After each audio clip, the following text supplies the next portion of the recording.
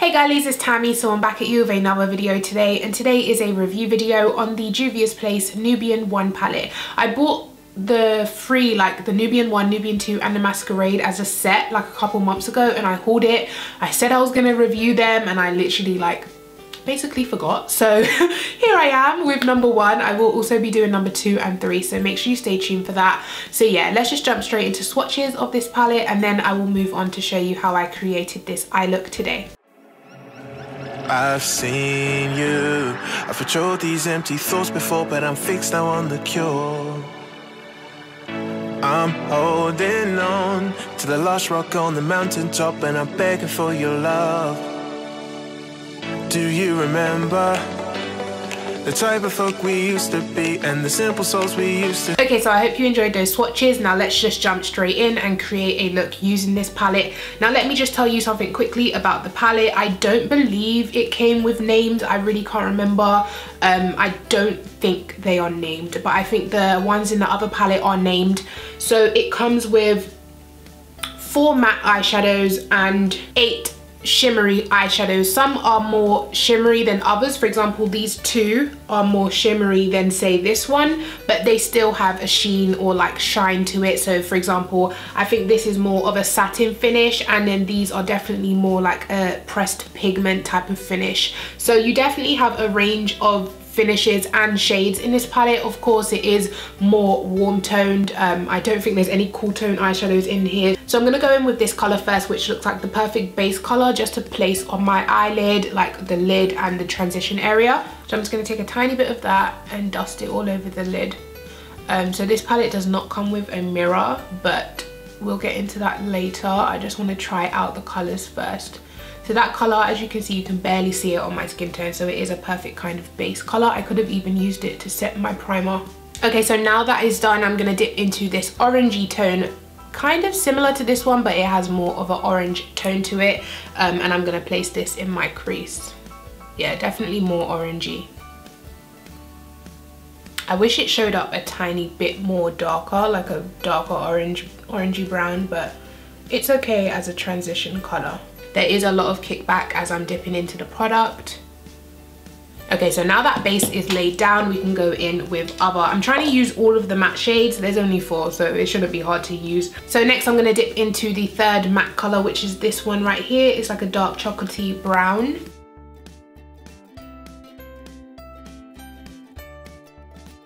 This color is not as dark as it appears in the pan. It does come off a bit lighter. It's not as dark and chocolatey as I thought it was going to be, but it is a brown. I'm not wowed by this brown. It's really light, kind of. It's giving me a bit of definition on my outer V, but ooh, why is my camera turned? That's better. um, yeah, it's not giving me as much depth as I would like on this outer corner. It's more of a light chocolatey brown rather than the deep chocolatey brown I thought it was gonna be. And I, if I remember correctly, I remember the first time I actually used this palette, I wasn't blown away by the colors either. So this is just bringing back memory lane. I'm getting tons of fallout on my nose and stuff. But I guess it is you know building up but it's just not as dark as I thought it was going to be. So yeah I'm going back in with my previous brush to just blend that together. Okay I think I've put like 10 layers on now. It's not getting darker than this so. So now I'm going to dip into the last matte color which is the black kind of like a blackish gray yeah that's definitely giving some darkness. But it's definitely more of a grayish black than a actual black. This is the weirdest experience for me guys because they go on really nice and then when you blend it out it's kind of like oh it's faded you know? And let me show you how much kickback is on the palette. I hope you can see how much powder has come out of the black and the brown. I mean it doesn't bother me but some people don't like all of that powder around so yeah this is the look you can get with all of the four matte shades. Mm, I'm not blown away. I mean it's cute. It's definitely a wearable look. It looks fine. It's just not the best eyeshadows I've ever used. I just mean for the shades that I've put on my eyes this this this and this I think it should be a bit deeper. Or you know I feel like it should be darker or more pigmented it kind of looks like I've had this makeup on for how many hours and it's faded so I'm going to take this one first which is kind of like a duochrome color it's kind of like a rose gold Hope you can see that. It's like a rose, then a gold. so I'm gonna take that on my eye. Very pigmented and they glide on very buttery. They feel super smooth going on your face. And that one dip did my whole lid. I definitely like the shimmers a lot better than the mattes. So that is how the rose gold looks. Didn't even have to build that up. It just went on perfect. I really like that color. It's perfect kind of duochrome. Love it. Let's take a bit of this because it has that kind of pressed glitter, very pigmented look. And I'm gonna put that right on the inner corner. Can I even see it? I'm gonna take a brush and try apply that inner corner color again. So I'm dipping into this one again on a brush. Let's see. Yeah, it's a lot more intense with a brush. One last time, I'm gonna try build up this black because I really want a deep outer corner. I want it to look like that, but as soon as I blend it out, it goes. So I'm gonna do the rest of my face off camera and then I'm gonna come back so I can give you my final thoughts and review on this palette. Okay, and I'm back. So I just wanted to do my lower lash line before we go on to the final review. So I'm just gonna take a couple of the matte shades like this one, maybe this one, maybe even this one and just blow out my lower lash line. Okay, so this is how it is looking once I have finished. So this is the final look. I hope you like it. So yeah, let me just give you my final thoughts on this palette. So this palette retails for $23.50. Um, of course, this is if you buy it in the US. Um, you can ship it to the UK, I think, but of course you will get custom charges on top of it. So it won't work out to be like, you know, super cheap or affordable. $23 I think translates to about 18 maybe 20 pounds basically. So 20 pounds for this palette is really not bad. It's a great deal. However by the time you get customs and shipping on top of it it will take it to about 30 maybe even 35 pounds if you order from the Juvia's Place website.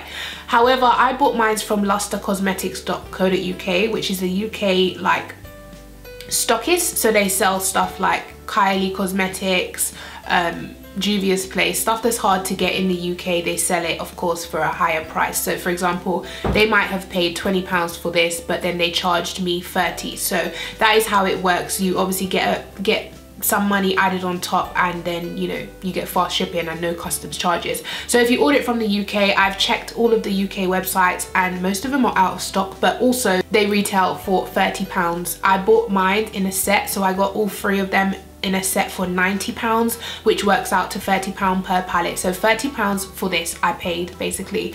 Um 30 pounds for this.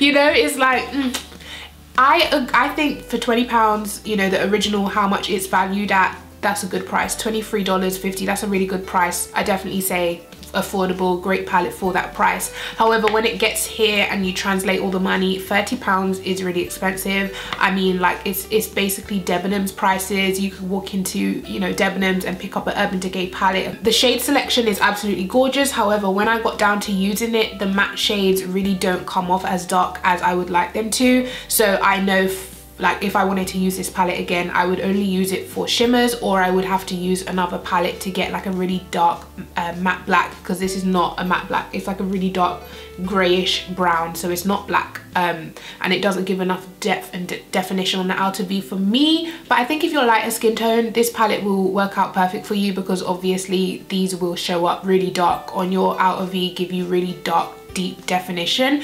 Whereas for women of color it really doesn't show up that much. Well for me. This is all my personal opinion girlies of course. If you saw the way it applied you saw all of the matte shadows and you were like yeah I like that. That's perfect then of course this palette is for you. But speaking from my own experience it just doesn't build up enough depth and darkness on my outer V the shimmers in this palette are absolutely stunning. I definitely recommend this palette if you're interested in any of the shimmers. They are gorgeous. All of them swatch perfect, one swipe, full pigment. They go on the eyes perfect. They're still looking nice. I think you will get the best out of it if you use it wet. Yeah, use them wet if you want to get really intense shimmer. If not, this is how they come out on the eyes, a really nice kind of satin sheen. Um, yeah, I like this palette. It's definitely like a, I would think a seven out of 10. It's good, but for the price, it's not great, you know? Um, I just wish the matte shades were deeper, darker, and that is it really. That's the only thing I have to say about this palette. If the mattes were darker I would definitely give it like a 9 or 10 so that's it for this video girlies. I hope you enjoyed it. If you did then please give me a thumbs up. Please subscribe to my channel and stay tuned because I will be reviewing the Juvia's Place 2 and free palette. So stay tuned and I will see you in my next video. Bye